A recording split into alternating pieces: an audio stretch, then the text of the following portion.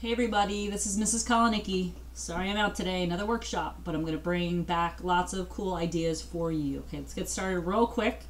We're going to do a quick review of what we learned yesterday, which is multiplying and dividing rational numbers, and then you're going to take a quick quiz. If you need more time, uh, write your academic sports teacher's name on the upper right corner, and we will send it there, and you guys can finish it today. All right, you should have handed in your reflection sheet from last night. I am checking right now on my phone that you did your homework, so hopefully you did it on time. Remember, all homework and the test is going to be on Thursday, so make sure all your homework is due and done by Thursday. All right, here we go. So we're going to be reviewing rational numbers, multiplying and dividing. You need to be able to rewrite division problems with fractions, solve multiplying and dividing word problems, and solve multiplying and division, uh, multiplication and division problems with rational numbers. All right, let's start with, let's start with this first one up here. So I have to rewrite this division problem as a multiplication problem. So right now it doesn't even look like a division problem. But if you notice, there's a very dark uh, fraction bar right here, and this top one's a little bit skinnier. So this is saying one third. Ooh, my handwriting's getting worse on this. Let's try this again. One third. Let me try that one more time. It's going to be one third. No, that three is just terrible. Divided by five. And now I want to rewrite that as a multiplication problem. Now we did this yesterday. This is the same as subtraction. We leave, we change, and we use the multiplicative inverse.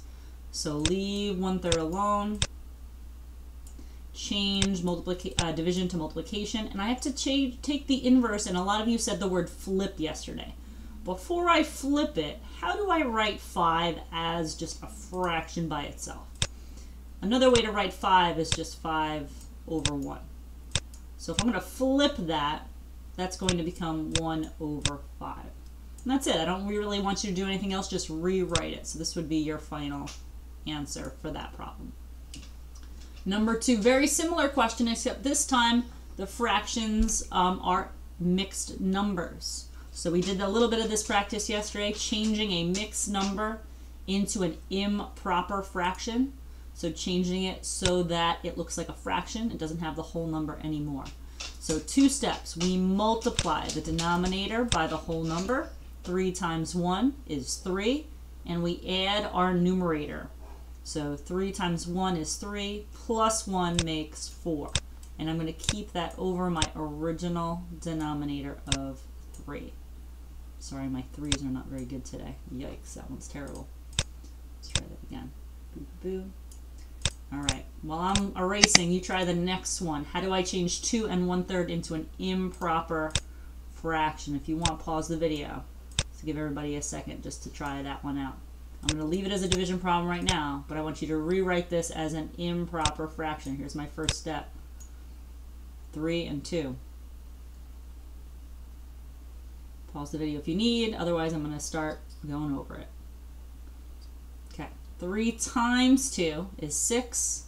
One more makes 7. So this will be 7 over the original denominator of 3. Now that looks like a nice division problem, I'm going to rewrite it as a multiplication problem. Leave, change, inverse. Leave, change, inverse. So leaving 4 thirds alone, changing division to multiplication, and taking the multiplicative inverse, or the reciprocal, of 7 thirds, which is 3 sevenths. And that would be my multiplication problem. Again, pause the video at any time if you need a second. The next four questions are all calculator questions. One, two, three, four. So I want you to do those on your calculator.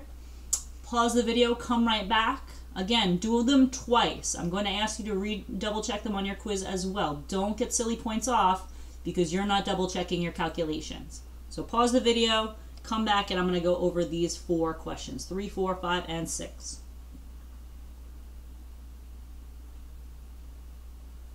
Okay pause the video and you're back, that means you're ready to go over these.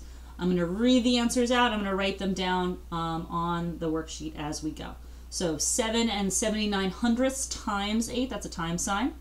a little dot. Remember, we can use a dot, we can use an X, or we can use parentheses to show multiplying.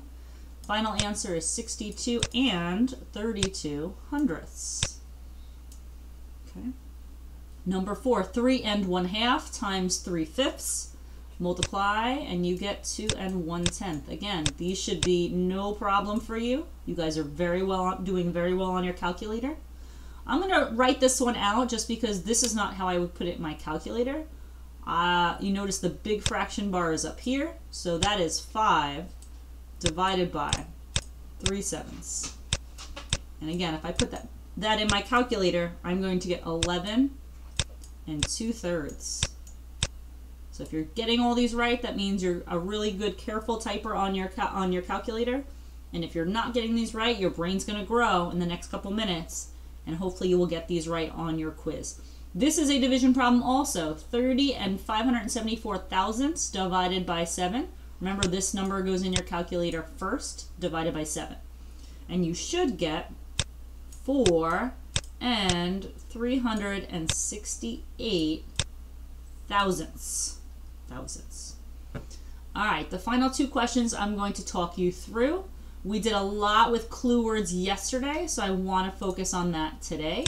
A truck driver drove 315 miles in five and one half hours. What was the average speed in miles per hour? Hmm. So we talked about this word yesterday. But this word usually is two steps. It usually means add up the numbers and then divide by how many there are.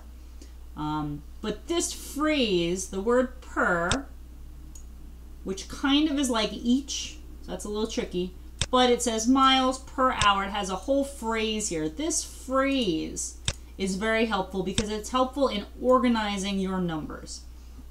We're going to use average the way we used it yesterday to mean dividing.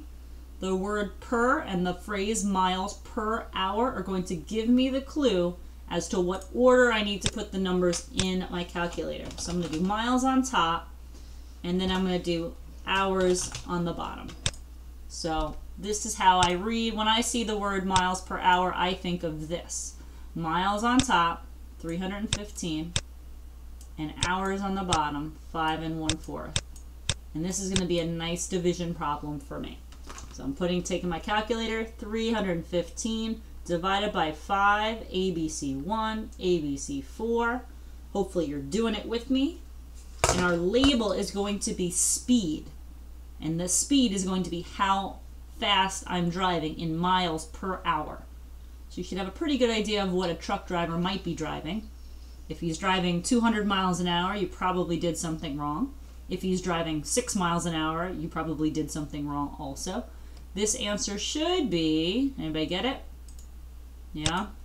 Okay, final answer should be 60. Ugh, that's a terrible 6. Sorry, guys. I don't know. My computer's just not doing well today with these, uh, this writing. 60. Ugh. Miles per hour. Uh, we write MPH. MPH. 60 miles per hour. Miles per hour. You've probably seen that on your car. Uh, if you look at the steering wheel, where the steering wheel is, it says how fast people are going, miles per hour. And the last word problem, and again, right into the quiz right after this. So number eight, what is the area of a room that measures 10 and 3 fourths feet for the length and 8 and 1 half feet for the width? We talked about this clue word yesterday. It's not width, it's not length, it's not feet, it's area. And again, as soon as you hear area, you should have that formula in your head. It's a two-dimensional shape. It's a rectangle, right? A rectangular room or a square room. This is a rectangular room because the length and width are different. Area is length times width. So, in my calculator, I'm going to do 10 and 3 fourths.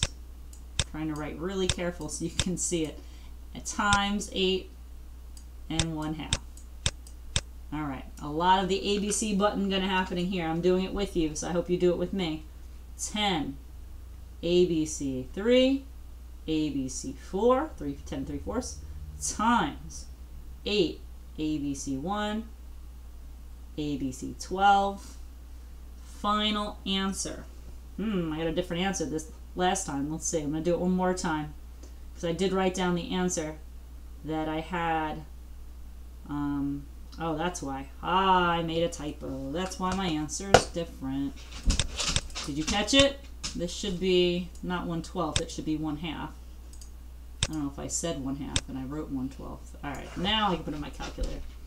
10 and 3 fourths times 8 and 1 half. Oh, good. This is the answer I got before. Okay. So now I know I did it right. If I got the answer twice, and on your quiz too, same thing, make sure you're getting the same answer twice. If you are, then you probably did it right and you're all set. If not, then you got to do it one more time and break the tie. Final answer is 91 and 3 fourths.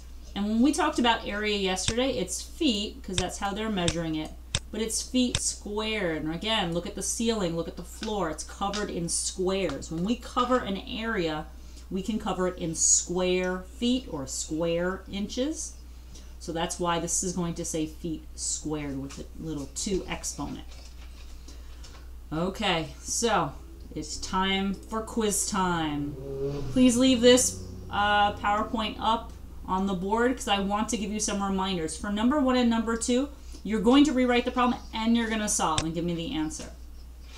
For numbers 3 through 6, just like we did now, make sure you double check them in your calculator. Don't get silly. Don't make silly mistakes just because you type something wrong in your calculator. And for number 7 and 8, just like our word problems here, I want you to show your work and I want you to circle your final answer. So I want to see what operation you're doing. Here I can see I did dividing. Here I can see I did multiplying. So again, show your work and circle or box your final answer. Good luck to everyone. I hope you guys have a great day, and I will see you soon. Bye. Bye.